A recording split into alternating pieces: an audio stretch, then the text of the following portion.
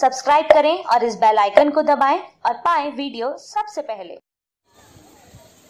नमस्कार दोस्तों, मैं हूँ राजीव रंजन और आप देख रहे हैं जनादेश न्यूज़। कोविड 19 के संक्रमण का खतरा बिहार में लगातार बढ़ रहा है।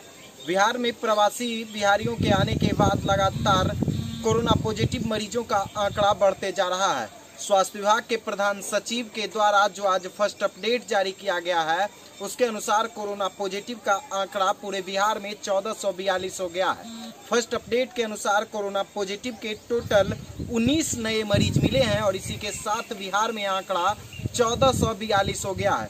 19 जो नए मरीज़ मिले हैं, उसमें से कैमूर के दो हैं बक्सर से एक, समस्तीपुर से एक हैं शेखपुरा से दो, गया से तीन, जहानाबाद से एक, पटना के एक, नवादा के तीन, मधेपुरा से तीन, सुपौल से तीन हैं और टोटल 19 कोरोना पॉजिटिव मरीज़ मिले हैं। इसी के साथ बिहार में जो आंकड़ा है वो 1442 पहुँच गया है।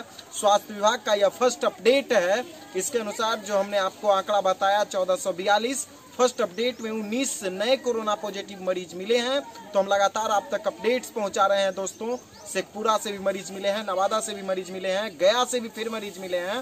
तो हम लगातार आप तक अपडेट्स पहुँचा रहे हैं। अगर अभी तक आपने हमारे यूट्यूब चैनल को सब्सक्राइब नहीं किया है तो जल्द से सब्सक्राइब कीजिए और पाइए बिहार की तमाम छोटी बड़ी खबरें। दोस्तों सब्सक्राइब करें और इस बेल आइकन को दबाएँ और पाएँ वीडियो सबसे पहले।